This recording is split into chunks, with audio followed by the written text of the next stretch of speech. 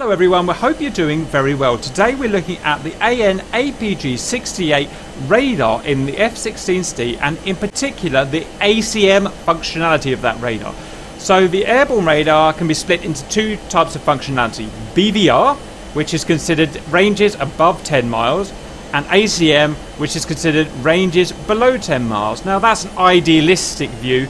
In reality they do cross over, but it's the way we're going to work with it today. The scope of this video is ACM modes only and we're not looking at any weapons specific symbology or weapons employment. This is purely search and track with ACM modes. First of all, we're going to start by looking at our controls. So we go to here. We will be using DMS down to ensure that our fire control radar on our MFD is SOI. Next, we're going to use our TMS up switch to select our boresight ACM scan. TMS right here to select 30 by 20 ACM HUD scan.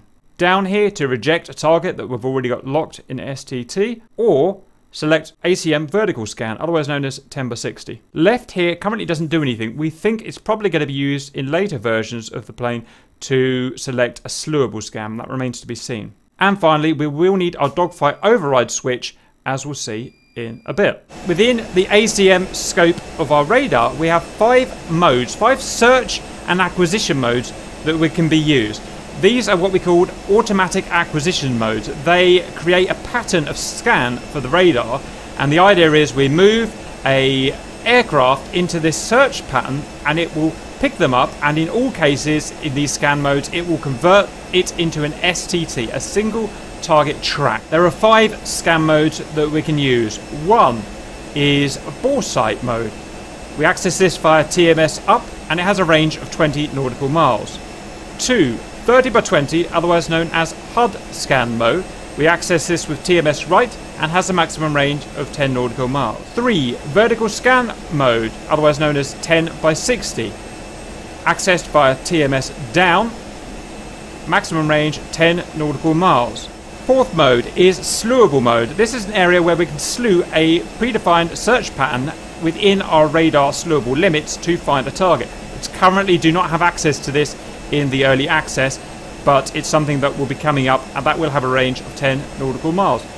5. Similar to boresight, but this is with the helmet mounted cueing system and allows us to move a boresighted scan around within our slewable limits. This is accessed via TMS up with the helmet mounted cueing system controls. Maximum range 20 miles. Auxiliary function, we can have TMS down, which will reject a currently locked STT target. There are two ways we can get into these ACM modes. One is via the fire control radar on the MFD. So if we just put that back to a main menu as good practice, then what we've got to do is ensure first of all our fire, radar, fire control radar is turned on there. Next we need to ensure that our MFD that we're going to be using for our fire control radar is SOI. So we're going to first of all choose the fire control radar, this here, and we want to ensure that it's SOI by having the box around it there. In this case it already is, but just in case it wasn't, we press DMS down to ensure it's SOI. As a default, our fire control radar will be in CRM mode. For all intents and purposes, this means BVR. We can change that to ACM. Click here, click ACM. We've now gone into our default ACM sub mode or scan type, which is our 30 by 20, which is shown here. And we've gone into a no radiation mode. This means, as standard, when we do this, it's not radiating. The radar is turned off basically until we choose a scan type. We can choose the scan types here. We can either have 30 by 20, we can have 10 by 60, we can have boresight, or back to 3020. Remember, slewable is not accessible at the moment. So that's the MFD method. Now we're going to reset everything back to standard so we can show you the other method. So back to CRM, I think it was back on 40 miles, something like that. So the other method would be dogfight override. If we didn't have time to go down into the MFD, we'd press our dogfight override switch. We can tell that we've done that because we've got dogfight override displayed here. Otherwise, it's done the same thing. It's put us into a base ACM mode without a search pattern engaged, and we can tell that because we have no RAD here. We can now choose the scan patterns again, but this time, instead of using this OSB, we're going to use the TMS. So, TMS up. This has put us into boresight scan. The way this works is if you see this cross here that it places down, you imagine that there is a box. Create an area like I'm framing there. All of our antenna radiation is now scanning in this box. Because it's a small box, that's what allows it to scan all the way out to 20 nautical miles. The idea is I move towards a target. Once that target becomes located in the box, it will automatically convert it into an STT and we can employ weapons. So that's bore sight. Spike cap. Sorry. Next, we're going to press TMS right. This is going to put in our 30 by 20. Note that there is no HUD, HUD symbology telling us this. We know it's in 30 by 20 because it does not say no rad there, and we do not see any other extra symbology. In this case, it's scanning the entire HUD, essentially, for a target. Now, in reality, it's actually slightly bigger than the HUD. It's something like I'm drawing a box there, so it overlaps a little bit. But for all intents and purposes, it's going to be scanning the HUD. Because it's scanning a bigger area and it's got less concentrated radiation, then it range is only 10 miles. And the range as well, bear in mind, the range is going to be affected by things like the target speed, the target altitude, the target aspect, and whatnot. It's just how radars work. Next, we're going to press TMS down or off. This is going to select our third mode, which is 10 by 20 vertical scan. We know vertical scan is engaged because we have this line here from our bore sight cross here. Now don't be fooled into thinking it's searching where this line is. This line is purely an indicator to show which mode we're in. The reality is, is it's actually searching a mode of, uh, sorry, a scan area of 60 degrees high, 10 degrees lateral, centered 23 degrees above our bore sight cross here, so it's centered about there. It scans roughly down to about there, about halfway down our HUD, where I'm framing, all the way up here to 60 degrees um, uh, from the bottom of the scan zone, which is about here, like that. Now this is commonly used in a dogfight because almost always in a dogfight you're going to try and be positioning the hostile between your bore sight cross here and your lift vector here directly up. So that's what that type of scan mode will be for. Same as usual, it will just scan that area, the antenna will whiz about in that area there, and it will lock up STT the first thing it finds. The fourth mode, slewable, is not usable right now, so we skip over that. What we do have now is bore sight helmet mounted cueing system. So, helmet mounted cueing system, engage with this knob here, turn it on. What we're going to do now is use choose our bore sight scan mode, so we're going to press TMS up, so you can see what the bore sight cross now. If we move off the HUD with our head tracker, it doesn't work. Are you serious? It doesn't work. Ah, it's disappeared. Now this is a bug we know at the moment with early access. It's not doing anything.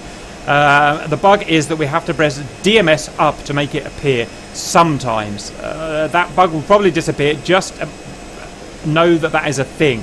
So you can see that now when I move outside of the HUD in terms of my helmet elevation, we get the symbology. Next, we need to go through this symbology. This here is our current G. This here is our current speed in the, in the selected method that we have selected. This is our master arm status.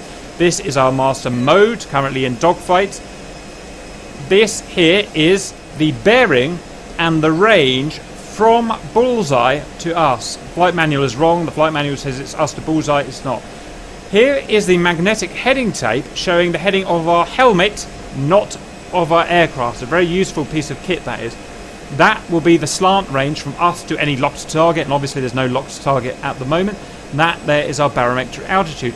This here is showing the scan zone of our bore sight. So it's just like the bore sight scan zone there, but if we move it around here, then you see it does that. Now note that we can go, we can move this outside of slewable limits of the radar at the moment like that, but it would only actually function within slewable limits. Slewable limits are 60 degrees left, 60 right, 60 up, and 60 down with AN APG 68. So I've explained all the different modes, the different ways that we can get into those modes. We now need to just go and use it and lock some targets up and reject some targets. So stand by as I go and find some flankers. We've got a bunch of flankers conveniently in front of us. Uh, they are flying left to right to left, so they, I might actually have problems locking them, but we'll see. So we're going to do this as quick as we can. Check our fire control radar is on which it is. We're now just going to get away from them for the moment so I don't lock them up straight away.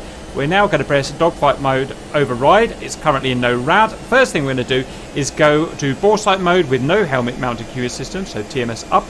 And we're going to go lock one of these guys up. So we're going to place one of these guys inside the scan bore sight parameters. Like I said, I may have problems locking this up because the moving right to left. That's called notching and it causes lots of problems. There it goes, it's already got him, look. So you can see that we've got an STT there with this guy. Note the target box around the target in the HUD and notes the slant range, the distance here, computed by Fire Control Radar, 4.6 nautical miles. I'm going getting back on the HUD. Next, what I'm going to do is unlock this guy. I'm going to reject the target, and I'm going to do that with TMS R. So let's do that. And we have rejected him. Next, we're going to do our next type of scan. It's going to be a little bit awkward. We are going to do a TMS right to do a 30 by 20 uh, HUD scan. So we're going to do that now. TMS right. So we're now scanning in the HUD. We're going to go and try and pick him up again. Remember, if there are multiple guys in the scannable area, it will just pick up the first one that the antenna finds. There is no prejudice here. And it's got him. Now, it may take a few seconds to find him. Remember, it can't scan that zone magically. The antenna just has to whiz up and down it like that. That's how it works. And it will eventually find him. That's that. I'm going to reject that with R um, TMS R, so it's rejected him.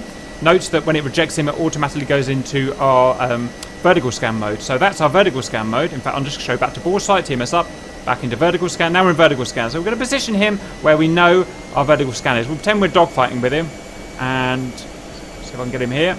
Our scan zone is going to go all the way up and down. It will take a few seconds again because remember, the antenna is whizzing up and down that scan zone at the moment. And we'll eventually find him. I may have problems with his aspect at the moment. Uh, got him finally. Um, I don't know what the delay on that is, whether it's working properly at the moment, or if it is purely his aspect. It could be either, so I'm not going to try and guess. But that showed getting hit in vertical scan. I'm now going to reject that now. So I'm going to pull away and I'm going to TMS R from down. That's rejected. Next, I would like to show the uh, bore, the helmet mounted. So I'm going to go bore sight on. I'm going to turn the helmet on. You would normally have the helmet on all the time, but it's just um, I just want to show you the difference. And you can see my egg, which is not working. So I'm going to press bore sight again. So that is TMS up again, and we now have our egg.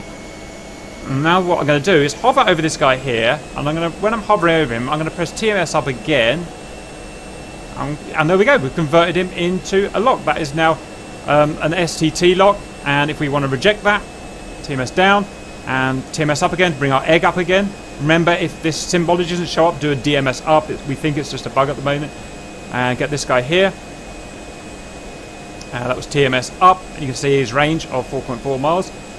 And that's it, really. Reject now. Oh, you can see when we move outside of the kind of limits where we can see him, we get this guideline which guides us to where the lock is um, for obvious reasons.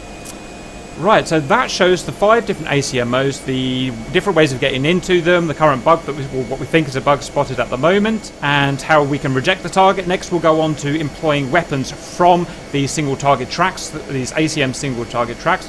I hope that was useful, and see you later.